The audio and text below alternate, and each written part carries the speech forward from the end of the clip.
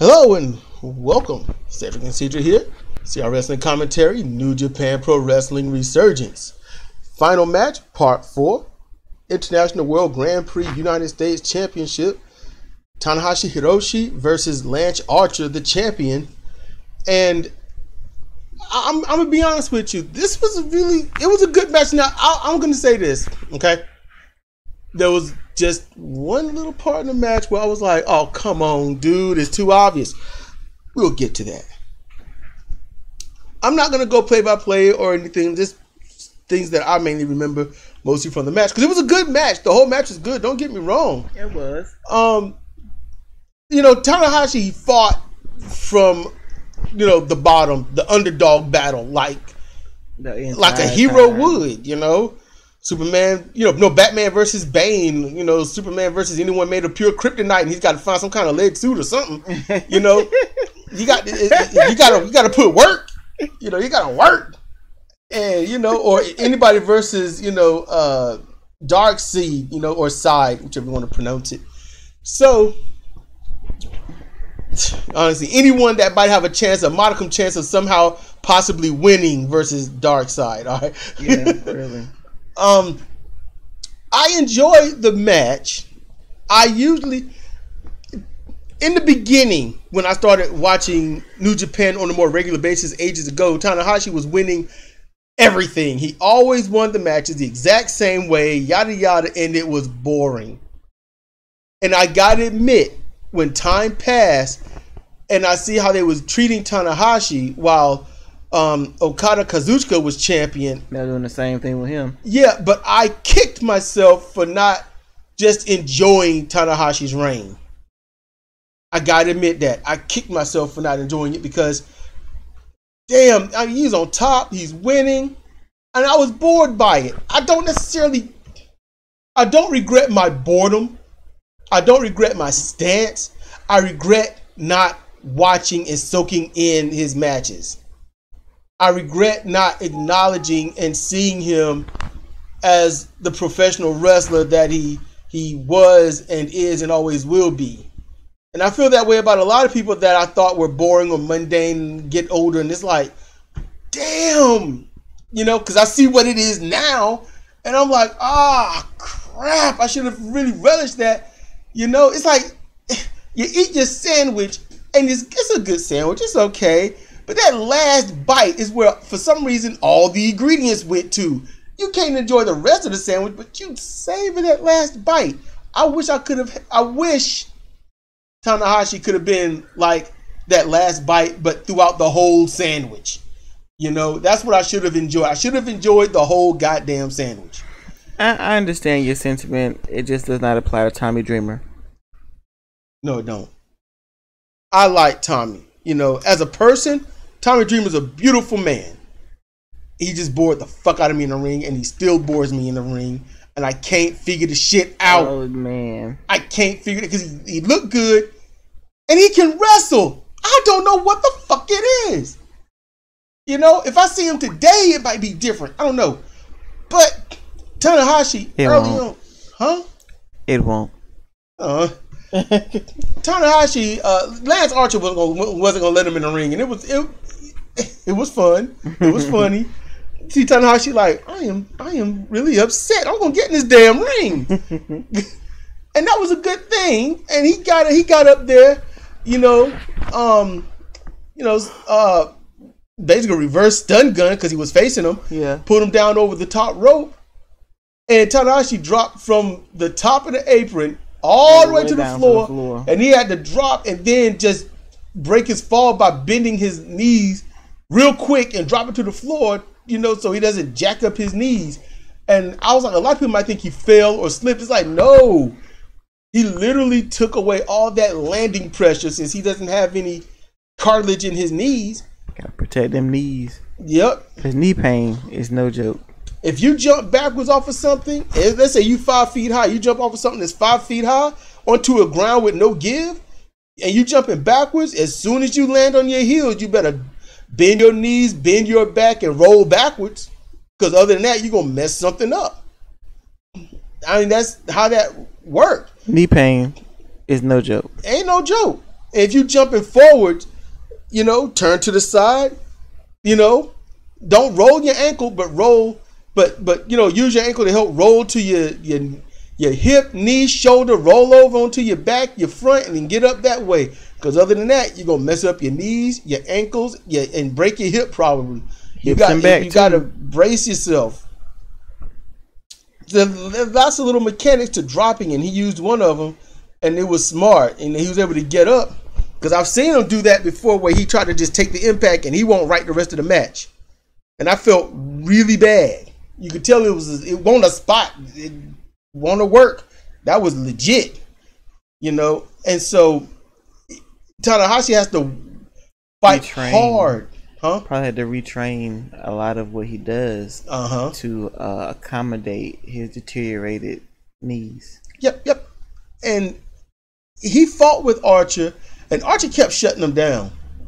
I mean, the whole match, Tanahashi was getting shut down. He would fight back a little bit, get shut down. It was a, honestly, just to be honest with you, it was a perfect, perfectly done United States tie, uh, style match. You know, that match could have been held in any credible company of professional wrestling this excludes AEW and is almost excluding WWE.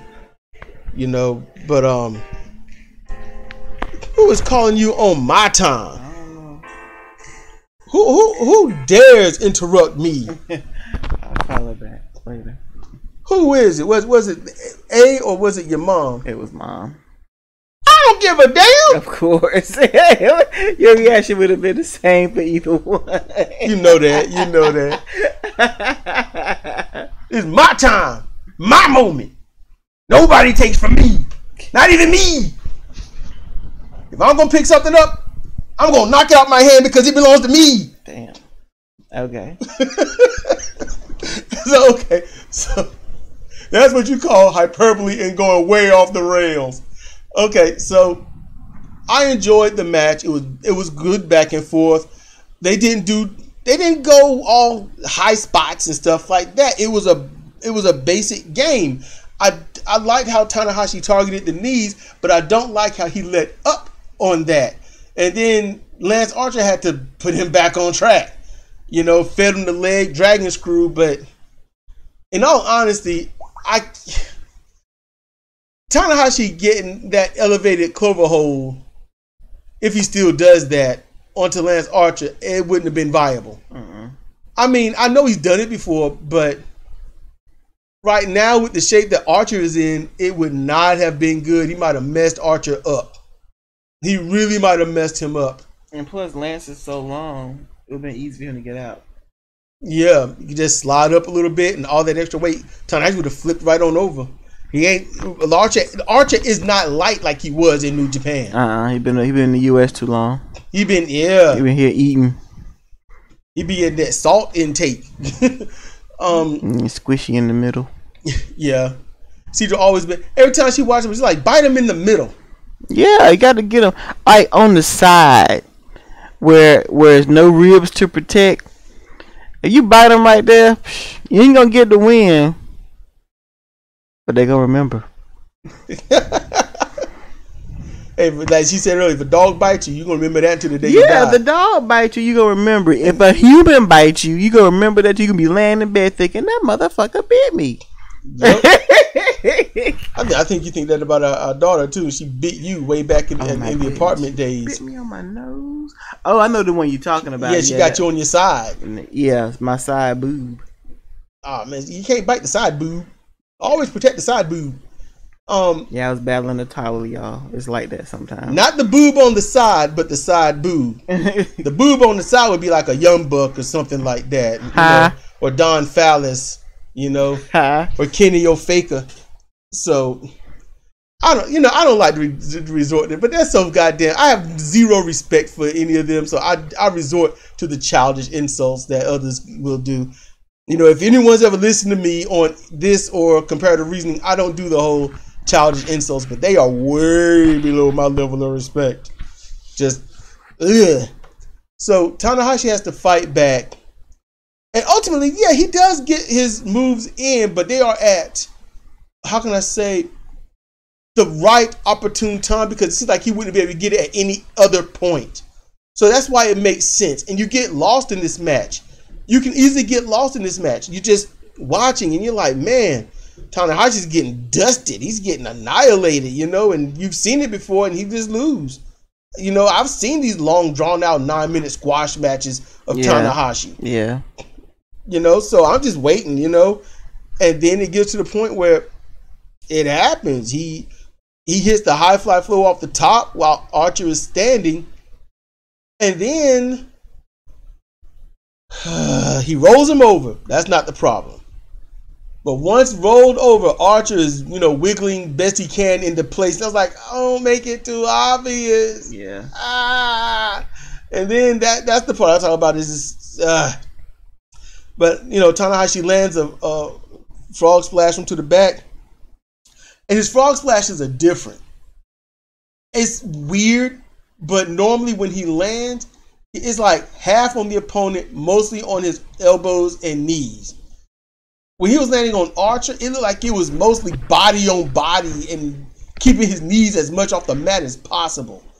That's what it looked like. Like he's retrained his frog splash a little bit. I don't know. I have not been watching New Japan for a while, so you know, anyone who has been watching, even if that's used Zemo, if he's if you've noticed that he's changed how his his frog splash style is, let me know if you've seen that too, because it looks way different to me. It almost like the way it did back in the his hair day, but it like he's keeping his thighs off the mat to save his knees more, which basically puts more damage onto the opponent legitimately. yeah. But if he does it in the right spot, maybe it's not so bad. Who knows? And then you know, he rolls Archer over, and, and he comes off the next rope, and he gets the win. It was one, two, three, and for some reason, I think the audience was too, waiting for another count and Archer kick out. Nope.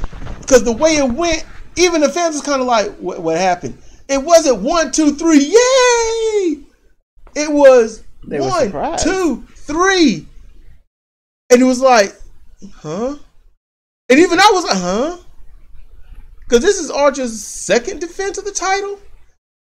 So I'm like, wow, okay, he, he won? Crap, he won. Okay interesting. So then my brain goes into the whole why did he win? You know, why? And there's a chance, um, you know, wrestling is very political. Life is political. If you ever wanted somebody on your side or you chose the side of somebody, that was politics. That's tribalism, that's politics. It's all wrapped up into each other. So he won, and I'm actually happy that he won. I'm I'm gotten so used to seeing Tanahashi treated like shit, you know, and I haven't seen New Japan in a while, but it's still a bad taste on my tongue of Tanahashi's treatment. So him winning this, I'm like awesome, and he's the second person to win every single title that New Japan has. That's good you know, that's gonna break it down for him and Jay White to do battle over some new title or whatever title is gonna happen or something. They're gonna have to break this tie because Jay White's ego, you know, is just ain't gonna let it stand, you know. And New Japan will eventually be like, somebody has to be the best. They will do that mess. Somebody has to be the best. How do we prove who's the best? They both Grand Slam champions. We've given them everything. Who's actually better? And then they'll just something of you know. Two, I would do a two out of three or or a series of matches like the best of nine over a three month period or something. You know, I'm just something. But That'd be cool. huh? That'd be cool. You know, yeah, you know, something simple, something cool, you know, settling. Um, and so then it gets worse. Okay, so let's liven things up. Okay, first the stupid part. Moxley's upset. I'm like, fuck off. Fuck all the way off, goon. So that happens. Move on. Archer gets in the ring and shows an absolute amazing amount of respect and admiration and love for Tanahashi. Yes, he does. It was very warm. I don't know if any of you noticed, Archer had to shut the fuck up before he brought busted tears. Mm-hmm. Because he was getting there. And he was starting to get me there. And I'm almost like, shut up, man. You, you gonna make me cry, you little bastard. Mhm. No, you ain't all that big. You know, I stood next to you. Fleetingly, about two arms length away. But I was there. Shit. okay, so he shows this, shows his respect. Thank you very much, Tana, Mr. Tanahashi. Fist bump. Tanahashi doing the best he can with what English he's learning. You know, I promise you, you know, Everything. everything. Yeah, everything. So that's awesome. Uh see, y'all can probably hear me smiling too. Um, and and uh, I would rather a run in than what happened to spoil the show. Tanahashi tries to do his outro, his his stuff, and the crowd is not a New Japan crowd. There, I'm gonna tell you this: if there were six thousand people there, about two to three hundred were a New Japan crowd. There were not that many. If there's if there were two thousand people there, I would honestly say about two to five hundred would be New Japan crowd. Yeah, they weren't responsive. Not respond. I don't know what you saying up there. It sounds different than what I'm used to. Uh, yep. It it was bad. They weren't responsive, weren't receptive. They were. I mean, I wasn't watching. I was in the kitchen. You know, I was washing my hands and stuff, and I'm like, this crowd is dead. What the fuck? Tanahashi tries two more times. The crowd's like crickets. I'm like, he's trying to say, I love you. Get a rise out of it. And they're like, uh, uh. you said something in Japanese. We don't watch you. We wanted Archer to win, the guy that we was booing. We'd rather him win because he's, you know, a U.S. inhabitant. We want him. He's with AEW. Yeah. Ugh. Here's here. So, oh god, the crowd. God damn, man. And I said it in I think part one or part two, but like Jim Cornette said, it hurts my feelings. It does. It hurts. I'm like, God damn, y'all. If I never watched a Japanese match, if I never knew anything about how to pronounce katakana and get used to their taglines and catchphrases, if none of that, I was absolutely foreign to this language and their customs and ways, and I'm at this event and I'm watching these wrestlers wrestle, it would be just like when I was goddamn 13 and I realized these motherfuckers are Japanese. This is cool. Look at them. They're from another country. I am excited to see what they do. This is cool. Oh, he is talking to us in Japanese. Oh man, I don't know what he's saying, but he's excited. I'm gonna fucking cheer. Fuck. It's not that fucking hard. No matter no matter what language it is, you fall in love. You can hate. You holler out in pain. You laugh. Everyone knows the kissy faces. They know the hand gesticulations for a lot of things. When someone is talking and they're raising their voice and they're pumping themselves up and they are a face, even just fake it, god damn it. Just cheer with them. Cheer. We're on your side. I don't know what the fuck you're saying, but yes, you. Yes. Point at them. Yes. Yes. Point at them. Yes. Awesome. You. Shout their name. Shout it. Chant it. Point at them. Clap. That is universal. A face is hype. Go with it. This is not rocket science. God damn it. God damn, that shit is painful. That's some painful fucking shit. Oh. Uh. I mean, really, Cedra, like, what the fuck? They weren't New Japan crowd. It wasn't like it was when they came to the Cow Palace. Ugh. That was pre AEW. It's different. AEW has ruined. No, they have exacerbated the stupid that's been coming over the people in the United States. They took advantage of the low IQ people, fed them the dangling keys with no substance. They got the keys and everyone think they're going for a ride, but there's not a car around. That's what AEW is. They are people with keys and no goddamn vehicle. Uh-huh. Fuck y'all. If it won't for my if it won't for late night absolute goddamn silence, and I hate silence, I would leave you motherfuckers off. If it won't for the hope of seeing Sting or FTR or somebody, and you know what? If this shit, if I had paid cable and shit, I wouldn't watch it. I wouldn't give you the motherfucking rating. Fuck y'all. Watch that shit for free. Let somebody else record it, edit it, and put it up, and I watch it for free. I can skip through what I want, or pretty much as I do, play my game, or or write this story I'm writing, or work on a wrestling move, and then if I hear something that might strike my ear, then I look at the screen and be like, oh that, and then go back to what the fuck I'm doing. Cause y'all ain't that important. You know, if I want to talk about an AEW show, wouldn't be much. I'd be like, I saw this match. This these people won.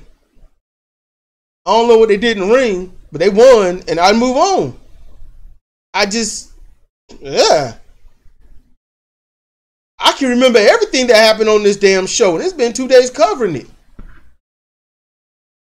I remember this shit. Tanahashi deserved better than this.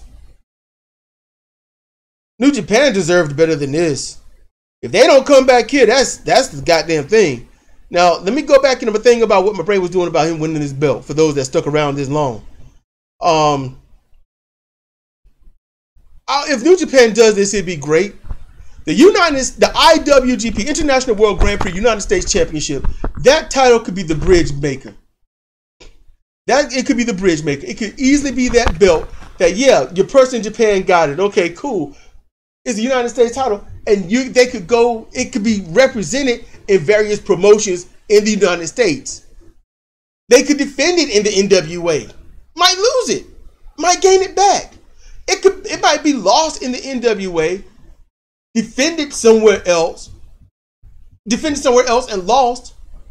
And then someone from Japan could go and challenge for it literally putting everything together. You know, it could be that, and that would be a really good thing. That'd be a beautiful thing. That would be so right. You know, that's what I'm hoping. I don't know. We'll, we'll just have to see.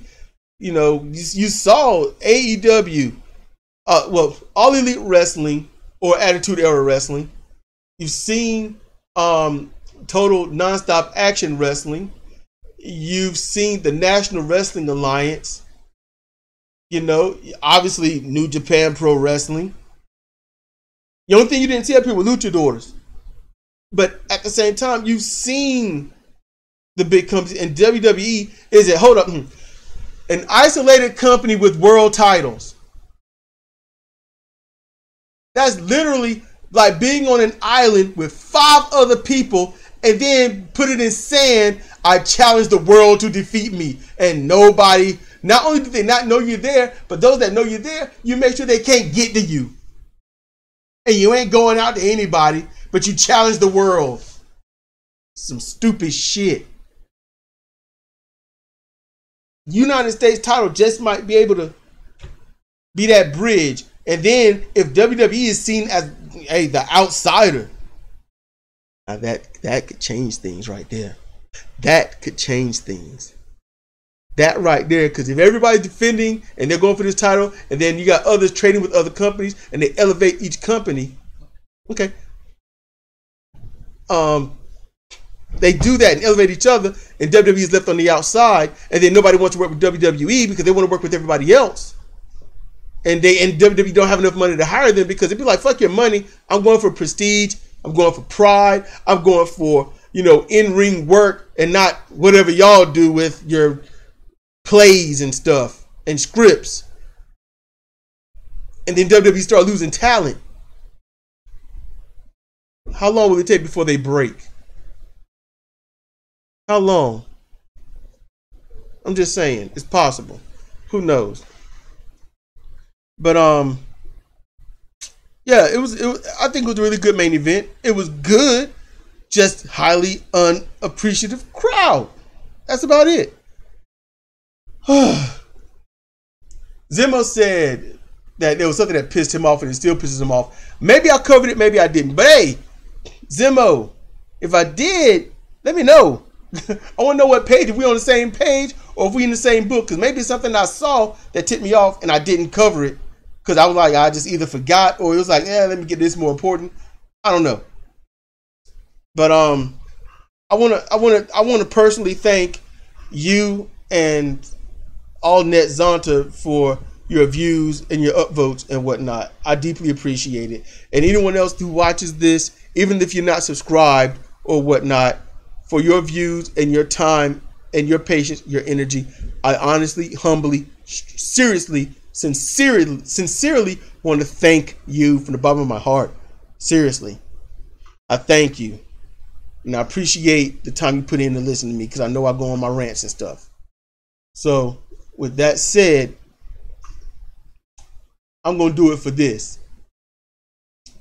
This has been Cedric Kennedy for Cedar Owens for, and I'm going to do the whole thing, for CR Wrestling, CR Wrestling Commentary, CR Fire Pro, CR Fire Pro Road, Payne Wrestling, all that good stuff down in the description below. Find them, talk to them, say hi to them, and all this other stuff. And with that said, good night, everyone.